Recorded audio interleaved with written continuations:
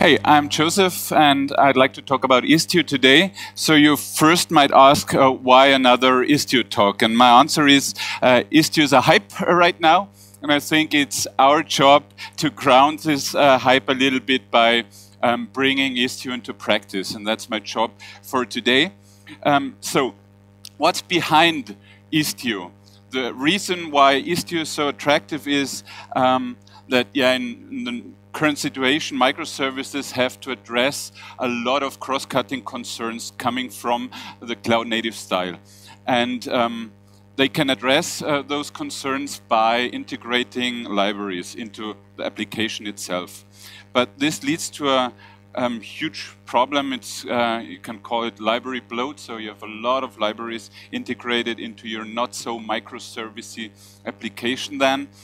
And um, so um, the basically idea is um, to move those cross-cutting so concerns out of the application side into the infrastructure side. And this is what Istio is all about, um, to unburden those microservice applications of addressing those um, cloud-native concerns. Um, so now let's uh, dig into Istio itself. The first thing to do is um, to install a Kubernetes cluster.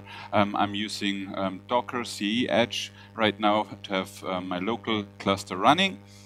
And um, yeah, the next step is to deploy Istio in a small sample application. So now let me fake um, a demo. So the first thing is uh, to set up Istio, to download Istio, and uh, to mount the binaries into the path to have Cube uh, Istio CTL available on the command line tool. Then you can deploy Istio on the cluster. Um, you have your pods running, and then you have a magic tool um, enhancing the cluster to auto um, sidecar the pods um, with a Istio um, container, Istio sidecar container, and you label your namespaces to be auto sidecar with Istio, and the final step is uh, to deploy the Bookinfo sample application. And it's now up and running, the sample application as well as Istio, and um, the sample application is enhanced uh, by Istio sidecars.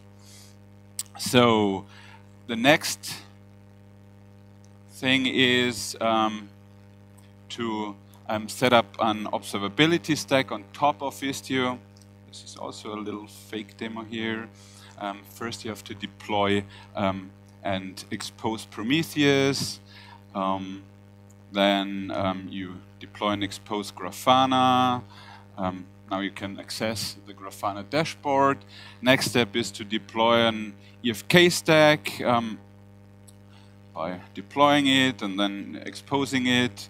Um, um, Kibana is accessible. The final step is to deploy Jaeger, and now Jaeger is also available.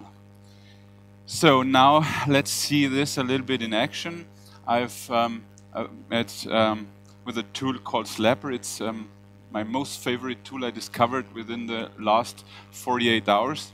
And it's uh, a load generator and you can generate load on this sample application. And when I switch over um, to Grafana board, I can see that the load is uh, coming here, and it's um, yeah, it's already um, observable. You have your Jaeger UI. You can access the traces here. You can see which are the slowest running requests, and you can dig into those traces where the root causes are. And you also have your Kibana um, on board to analyze your logs. So now let's get to an end um, by uh, providing some samples how you can play around um, with this Istio stack um, deployed right now. Um, this is a sample code for A-B testing, some descriptors and how you can um, deploy them, um, how to do rolling upgrades with Istio, how to do blue-green deployments.